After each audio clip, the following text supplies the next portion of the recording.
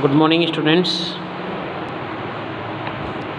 मैंने आपको अभी सिलेबस भेज, उसका टाइम टेबल का भेज दिया है।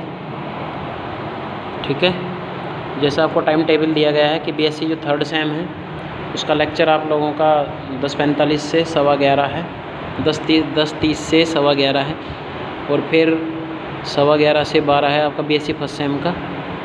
वो सिलेबस जो आपको भेजा गया है उसी मतलब सॉरी टाइम टेबल जो भेजा गया है, उस टाइम टेबल के अकॉर्डिंग आपको क्लास ले ली जाएगी। किसी दिन ऐसा होगा, हम उसको जल्दी वीडियो बनाकर भी आपको अपलोड कर देंगे व्हाट्सअप से।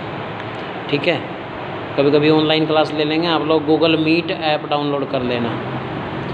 और जो बी एस थर्ड सेम वाले बच्चे हैं बी एस थर्ड सेम वाले बच्चे, आप लोग रियल रियल की बुक है आपके पास। उसमें नेबरहुड है लिमिट पॉइंट है कंटिन्यूटी है डिफ्रेंसिबिलिटी है। ठीक है? सीक्वेंस है सीरीज़ है। उसकी या तो बुक ले लेना, जो भी मार्केट में आपको अवेलेबल हो। अदरवाइज़ एक हमने इसमें बुक लिखी थी बीएससी थर्ड सेम के लिए स्पेशल जो लड़का वो है विशाल, सोनो प्रविंदर। उसके पास वो रखी है, उसमें से ले लेना फ़ोटो स्टेट करा लेना। दो सौ ढाई सौ रुपये की फ़ोटो स्टेट की बुक है वो, उसे करा लेना, उसमें से हम टोटल आपको पढ़ाएँगे। सारा पेपर में, जो कि पिछले साल आपका कुछ आउट ऑफ़ सिलेबस भी आया था।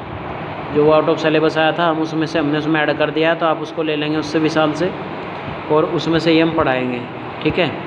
आप लोगों को उसमें जो हमारा पहला चैप्टर है इंट्रोडक्शन है इंट्रोडक्शन जो दिया गया है, वो आपको closure property associativity identity inverse इनके बारे में लिखा हुआ है, ठीक है?